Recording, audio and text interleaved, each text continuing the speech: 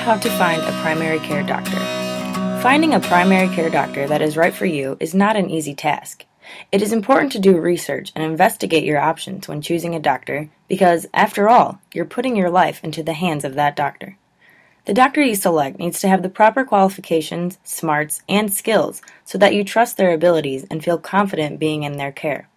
You will be starting one of the most significant professional relationships you will ever have with the doctor that you choose. Be sure to do your research, ask smart questions, and be slightly skeptical when searching for Dr. Right. The following guidelines will assist you in successfully searching for a primary care doctor. 1. Call your health insurance company in order to identify primary care doctors in your area that are covered under your plan. Then ask your family, friends, and your current doctor if they are familiar with any of the doctors listed in your area. 2. After you've identified some of the doctors in your area, Call their offices and schedule an appointment to meet each of them. 3. During your meeting, ask the doctor about their special interests, health philosophy, billing policies, procedures for making appointments, asking questions after hours, and their philosophy of the doctor patient relationship.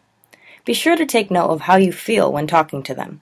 Can you picture yourself discussing your health and other personal matters with this doctor? How does this doctor view your relationship? 4. Take time to review your research and feelings about each of the doctors you are considering. Now that you have done the research to find the right doctor for you, choose the primary care doctor that you feel most comfortable with.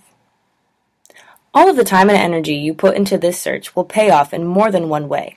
You will develop a rewarding doctor patient relationship, and you will feel confident that you and your health are in the hands of Dr. Right.